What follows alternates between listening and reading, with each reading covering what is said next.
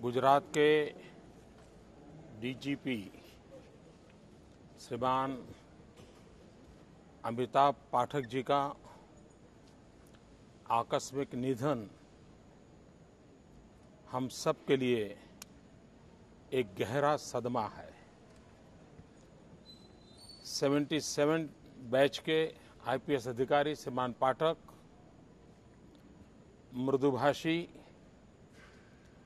और team spirit के साथ अनेक वर्षों तक गुजरात की सेवा करते रहे। तीन दिन पूर्व मुझे मिले थे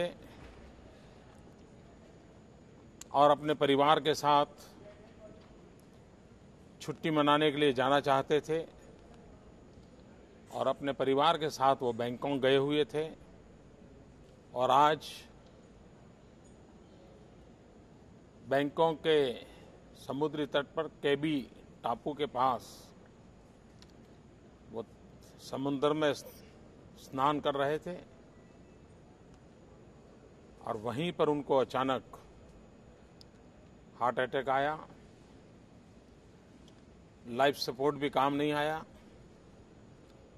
उनके सुपुत्र भाई अमित उनके साथ हैं। भारतीय समय दोपहर दो बजे उन्होंने अपना देह छोड़ दिया। अमित से मेरी विस्तार से बात हुई। परिवार जब छुट्टी मनाने गया हो और परिवार के मुखिया इस प्रकार से चला जाए, तब उन सब की वहाँ स्थिति क्या होगी उसका मुझे अंदाज है। सरकार की तरफ़ से आवश्यक सारे प्रबंध हो रहे हैं। उनका परिवार जो निर्णय करेगा उस प्रकार की उनकी व्यवस्था होगी। मैं गुजरात पुलिस बेड़े को एक बहुत भारी नुकसान हुआ है। मैं ईश्वर से प्रार्थना करता हूँ कि श्रीमान पाठक जी की आत्मा को शांति मिले और उनके परिवारजनों पर जो आपत्ति आई है उसको सहन करने की ईश्वर शक्ति दें।